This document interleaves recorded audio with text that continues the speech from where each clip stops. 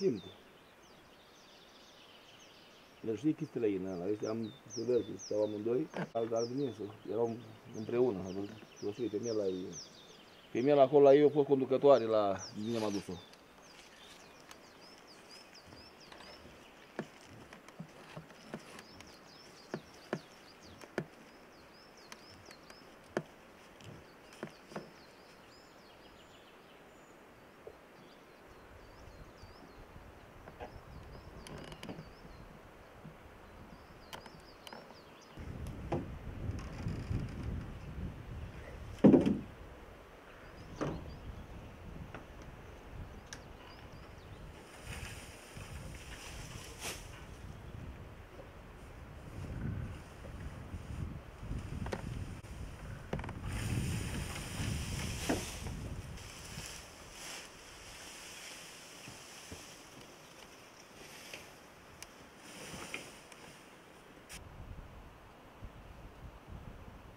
Ai pereche, nu?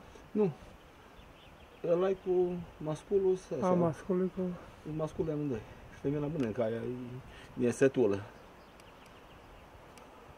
Noua familie de zimbre, un mascul și o femeie în vârstă de 12 ani și respectiv 4 ani, se comportă foarte bine. Ce mănâncă ei? Cum s-au acomodat aici?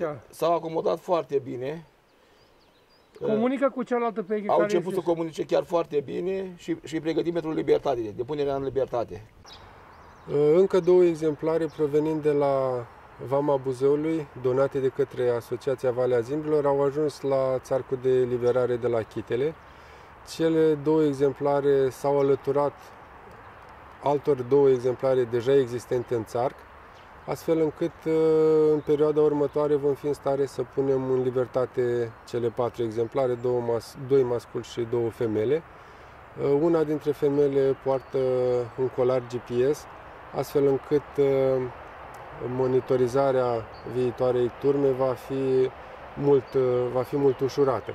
Perioada în care animalele vor sta în țarcul de eliberare va fluctua, eu știu, între 2-3 săptămâni, astfel încât animalele să cunoască între ele, pentru cele aduse de la Vama Buzăului să se obișnuiască oarecum cu, cu atmosfera, să zicem, cu, cu ceea ce este în jurul lor, astfel încât atunci când vor fi puse în libertate să se comporte ca o, ca o turmă unitară.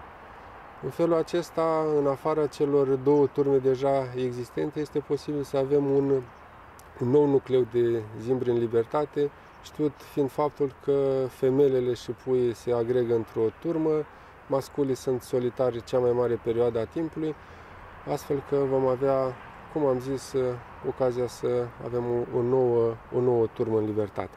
Da, începând din 2012, când am făcut prima eliberare, punerea în libertate a primului grup de zimbri, în fiecare an am reușit să eliberăm un efectiv variind între 2 și 6, 26 exemplare, astfel că acum în libertate sunt aproximativ 40 de exemplare.